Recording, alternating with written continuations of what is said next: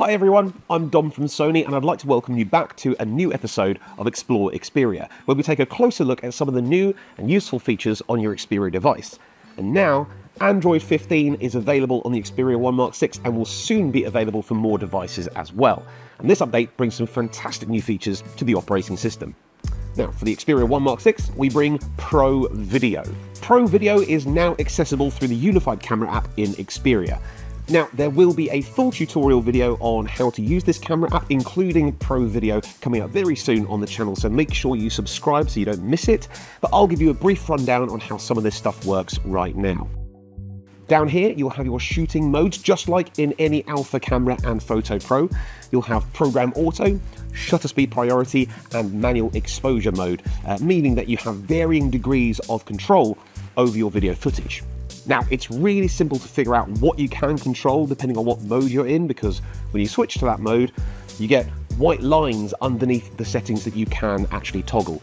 And just like any alpha camera, you have your function menu just here, giving you quick access to your most used settings.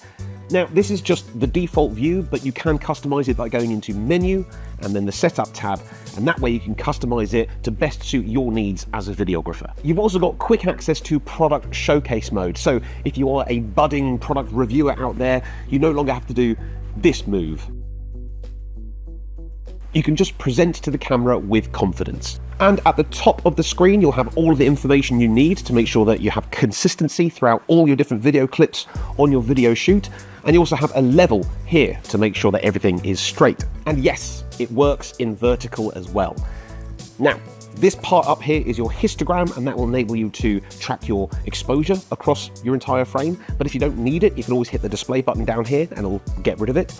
And also, if you've dialed in all your settings exactly how you want them, you can hit the display button once more and you can remove any of these distractions. Just above the histogram is your audio levels. Now, this will show you your audio input level and which microphone you are using, and this is so useful for videographers who need consistency in all of their sound between their video clips on their big video shoots.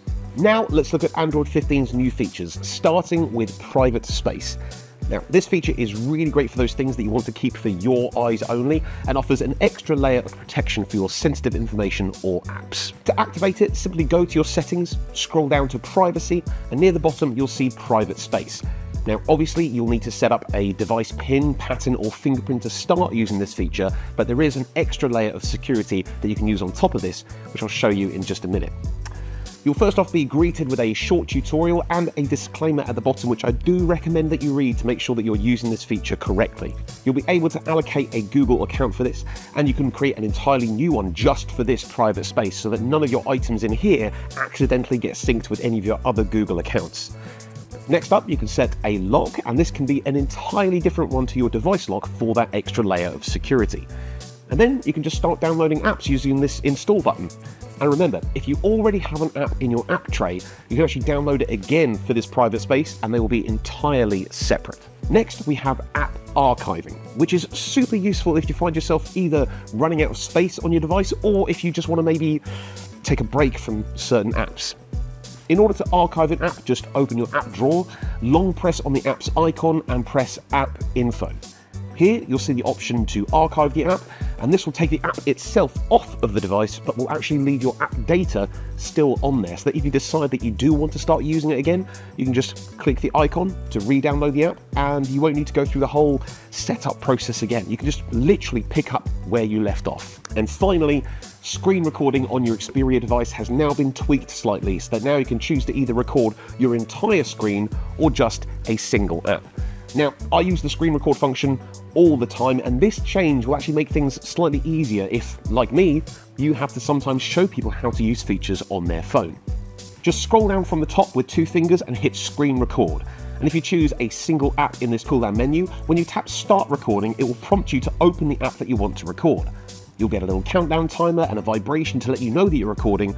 And once you've recorded your piece and you exit the app, you'll still need to stop the recording manually, but now you have a recording of exactly what you need without having to trim the beginning or the end. And also, there's no need to worry about whether you've recorded anything other than that app by accident. Let us know your favourite feature in the comments down below, and don't forget to subscribe to the channel so you don't miss out on any Xperia news. And I will see you next time.